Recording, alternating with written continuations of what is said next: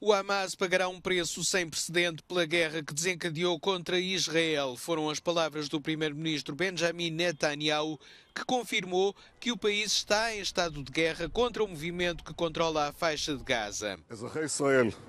אנחנו במלחמה, לא במבצע, לא בסבבים, במלחמה.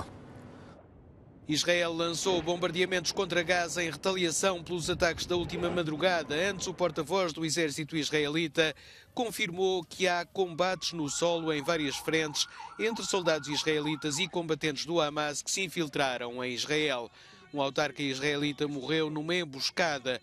Os ataques com rockets e combatentes infiltrados mataram pelo menos 22 pessoas em Israel, mas estima-se que o número de baixas seja bastante mais elevado de ambos os lados do conflito. O Hamas, durante a madrugada, lançou uma onda sem precedentes de ataques contra Israel, com uma salva de pelo menos 5 mil rockets. As brigadas Al-Qassam dizem deter os corpos de vários soldados israelitas e pelo menos um soldado vivo.